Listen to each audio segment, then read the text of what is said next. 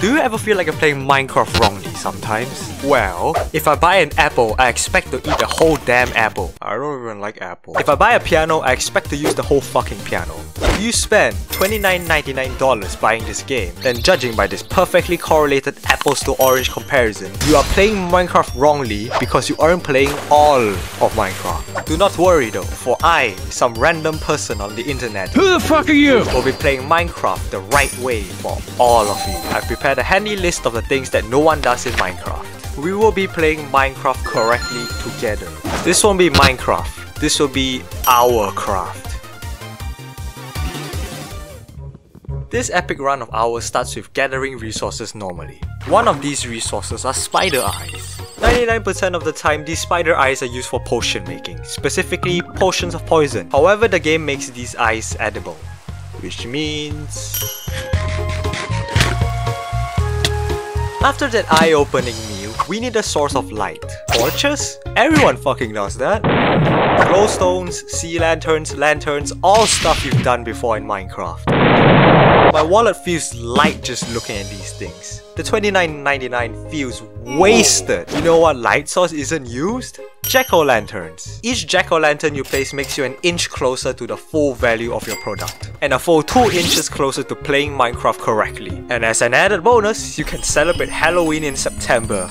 On the topic of least dues, you haven't really made on the topic of least use, you haven't really explored all of Minecraft if you haven't made a house out of solid bricks. First you break blocks of clay, then you collect the clay, then die with the clay. What? Then you smelt the clay, and finally you merge four of them into one brick block. All that hard work to give a pretty fucking ugly house, not gonna lie. The experience of building a house out of bricks is truly an experience worth remembering. Masochist. Building that brick house really took a lot of energy and now we need more food. As delicious as spider eyes are, they aren't very sustainable. You know what else is a food in Minecraft that people waste their money by not eating? Beetroot. Specifically beetroot soup. Why eat one beetroot at a time to restore half a hunger point when you can eat 6 instantly to restore 6 times the hunger point? And as an added bonus, see why absolutely no one likes the beetroot.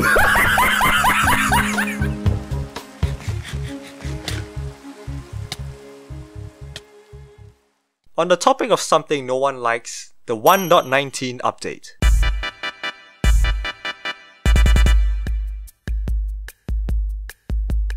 Remember the 1.17 update? It gave us the long-awaited cave updates, completely revamping the cave generation. It made caves a staple part of the gameplay rather than the strip mining menace it initially was. I think it's safe to say, the 1.17 update puts the mine in Minecraft.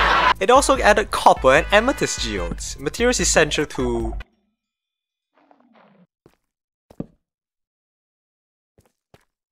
Materials essential to make spyglasses. I was scrolling through. Fuck off, Wiki! The list of advancements to see what advancement I haven't done yet. And then I saw spyglasses in the list and I was like, oh.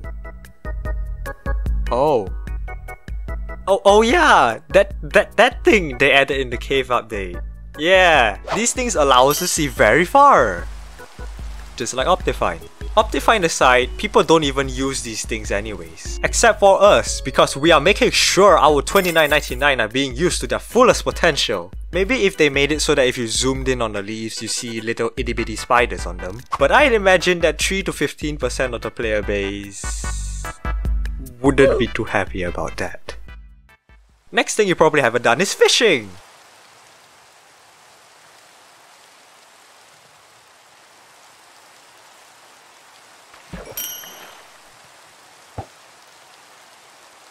You can see why AFK fish farms generate millions of views. Moving on, Minecraft allows you to make gold tools. And they haven't removed them from the game yet. Which means they're part of the intended Minecraft gameplay. And you have never played Minecraft correctly if you have never made a gold tool. Oh my god, a gold hoe!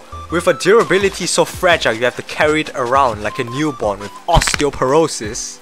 With the same use of a regular hoe, but half the attack speed for some reason. Mojang clearly wanted us to use gold tools so badly they even included them in ruin portals. And would you look at that, the armor even has thorns! An enchantment so broken, people avoid it because it will make the game too easy, clearly. These ruin portals also give us fire charges. Mojang's Mojang's way of discouraging us to use flint and steel. If you haven't started a nether portal using fire charges, then we'll do it together soon. Our portal. But first for something more controversial. How do we build our portal? 10 obsidian or 14 obsidian? Because clearly 92 is the right answer. 23 by 23 maximum dimension. Before entering the nether, we must have the top of the line weaponry, the best of the best. If you haven't had a golden axe with Bane of Arthropods, are you even doing with your life? Are you even playing Minecraft? You can see this fight with this zombie pigman that the axe is working so well because of this enchantment. This axe is fucking terrible. this axe has saved me from this battle. I must preserve it. If you've never done repairs the old way on an anvil, you probably use mending, let's be real. Keeping up with this hot streak of value generation, you are playing Minecraft wrongly if you aren't using cauldrons in the nether.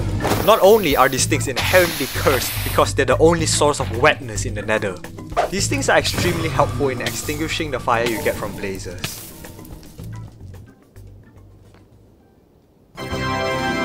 After collecting some blaze rods, raiding the nether fortress and facing some hard to relate tall people problems, this thing happens.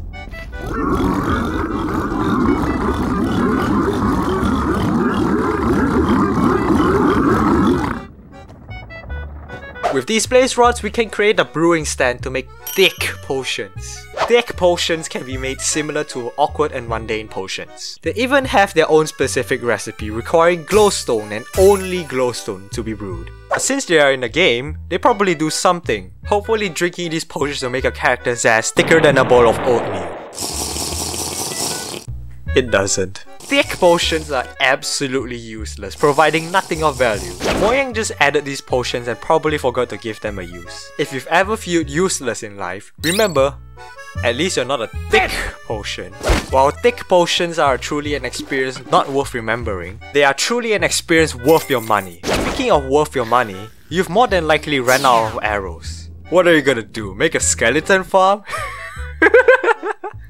No. If you obtain arrows by crafting or looting them, then you are an unintelligent bastard fool. Mojang has added this super broken feature that allows you to duplicate arrows. With the cheap cheap cost of 4 glowstone dust, you can make 2 spectral arrows. The arrows that pretty much everyone forgot existed. It makes mobs you shoot glow. So, um, yay I guess?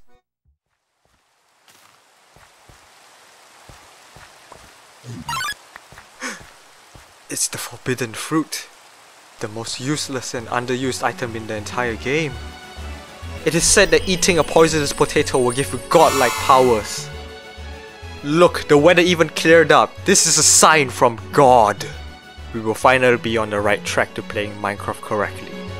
Together. I wasn't even poisoned? What a fucking shit! We now need a mode of transport to the end. Using the useless fishing rod, we can make a useless carrot on a stick. You probably haven't done this yet. And you never will again. I think we're better off walking to the portal. Did you know that you've been fighting pillagers wrongly? There is a more meaningful and resourceful method of taking care of them, by leaving a half-block gap between the two of you and forcing the pillager to shoot at you for 15 minutes plus. You will eventually tame the pillager by breaking their crossbow. With their crossbow broken, you can brutally murder him in the slowest way possible. I died while looking for the end portal, but thanks to the poisonous potato, I managed to use my godlike powers to create another path towards the end portal, and I've made tipped arrows. Remember these things, me neither. And with that, we've beaten the game 100% legitimately and objectively correct. In my opinion, we have squeezed every last bit of value out of this game. But there's one final thing about Minecraft that you're playing wrongly. You're playing Minecraft. You should be playing other, better games.